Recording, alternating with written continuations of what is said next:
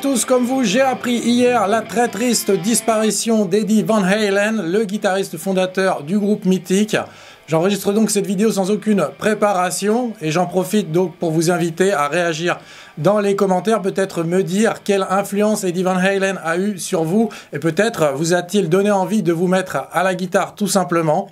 Pour ma part, je pense qu'Eddie Van Halen est le plus grand guitariste de métal de tous les temps, certainement le père du style shred, c'est-à-dire la guitare métal virtuose, la guitare spectaculaire. Il a été un très grand innovateur en ce qui concerne le matériel, l'équipement guitare, mais également le jeu guitare et la musique rock en général. Je vais donc évoquer son souvenir au travers de cette vidéo et de l'image qu'il m'a laissée et l'influence qu'il a eue sur moi en tant que guitariste. Je ne vais pas vous faire sa bio, je ne vais pas vous faire un documentaire.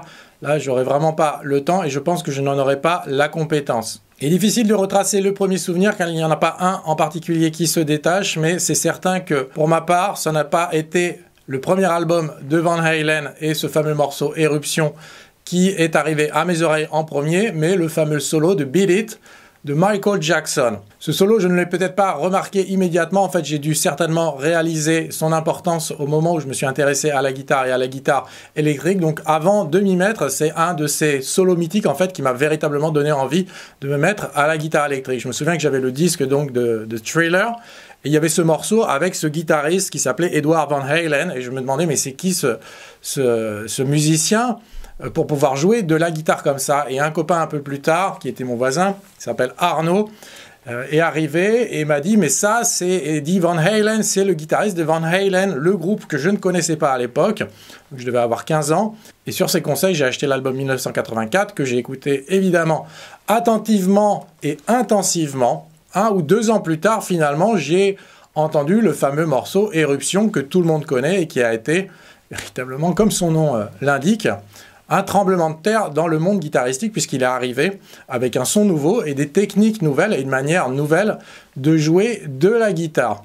C'était un très grand innovateur et il a popularisé les micros humbuckers sur des guitares de forme Stratocaster avec des systèmes de vibrato à blocage, le fameux Floyd Rose. Et quand il a montré ce qui était possible de faire donc avec un équipement pareil, c'est clair que tous ceux qui aimaient le rock ont eu envie donc de posséder une guitare dans ce style-là. Donc ça a été vraiment, eh bien, on va dire un industriel à succès, un inventeur de génie ou du moins de très grand talent Ceci s'accompagne avec la modification de ces amplis et le fait d'avoir poussé euh, le canal de distorsion à des niveaux qu'on n'avait jamais entendus avant. Alors, je ne vais pas vous faire toute la liste des fameuses pédales, l'utilisation des effets comme le flanger, le delay, etc.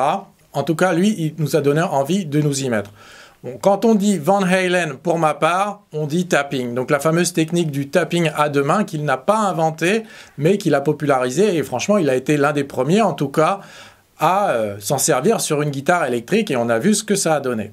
Mes premiers exercices de tapping à la guitare électrique venaient d'un livre, en fait, d'une méthode qui venait du GIT, qui était daté des années 80. Donc c'était euh, des photocopies en noir et blanc avec des diagrammes. Je pense qu'il n'y avait pas de tablature où il fallait jouer justement ces fameux intervalles sur différentes cordes. Il a un jeu en matière de lead guitare qui est très imprévisible, c'est-à-dire qu'il va commencer des phrases rapides, mais pas au début de la mesure ou pas obligatoirement toujours sur le temps. Il va couvrir comme ça des phrases un petit peu asymétriques sur deux mesures. Ce qui fait à mon sens la signature, du moins ce qui définit pour moi un guitar hero, c'est un guitariste qui va avoir des riffs légendaires et des solos légendaires. Et quand on parle de Van Halen, on est absolument là-dedans.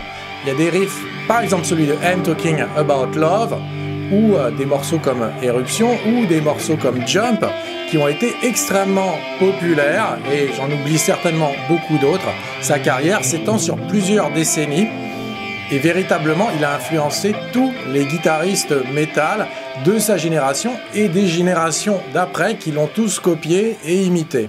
En ce qui concerne la musique du groupe Van Halen, eh bien, la formation a connu des hauts et des bas. Ils ont connu un pic de succès justement en 1984, en fait jusqu'à la séparation d'avec David Lee Ross, qui pour moi était eh bien, le, chanteur emblématique de Van Halen. Ensuite, ils ont connu une nouvelle phase avec Sammy Hagar.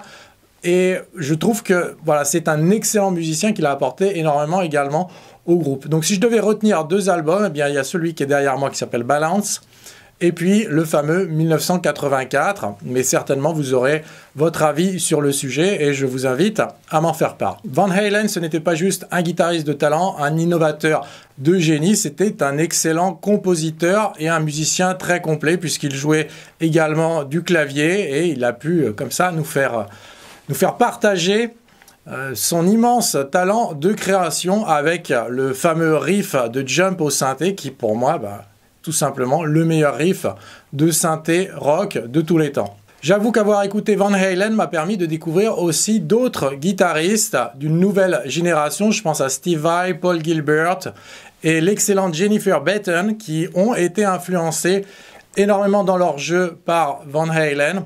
Donc c'est vrai que je me suis moins intéressé ensuite au groupe Van Halen, notamment à partir du moment où ils ont commencé à changer de chanteur. Là, ça, ça a été un petit peu pour ma part, voilà le début euh, d'un désintérêt. J'ai repris à titre personnel avec euh, différentes formations les morceaux, si je me souviens, And Talking About Love, donc que vous venez d'entendre, You Really Got Me et Jump, donc des trucs qu'on a joué sur scène. Jump, il n'y a pas tellement de guitare que ça, à part le fameux solo, mais c'est vrai qu'une fois qu'on est initié au tapping et avec un petit peu de patience, il est moins difficile qu'il en a l'air ce solo et il est absolument excellent. Depuis quelques années, Van Halen était sorti un petit peu de mon radar, c'est-à-dire que je m'y intéressais plus trop. J'ai l'impression qu'il devenait un petit peu mystique entre ses addictions et puis euh, il avait quand même perdu de sa superbe sur scène. On voyait qu'il avait du mal à rejouer ses solos pour toutes les raisons euh, justifiables et compréhensibles du monde. Donc voilà, malheureusement, il nous a quittés hier. C'est une euh, une très grande perte, une immense perte en fait. Donc le plus grand guitariste de métal, à mon sens, de tous les temps eh bien, saluons ensemble son immense œuvre et le très grand héritage qu'il nous laisse. Soyons-en dignes et perpétuons-le.